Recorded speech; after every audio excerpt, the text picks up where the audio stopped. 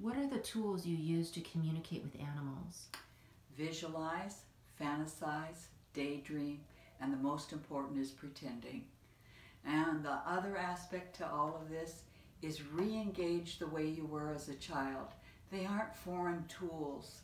They are our natural inborn skills that we did all the time, not knowing that that was the key for communicating with your best friend.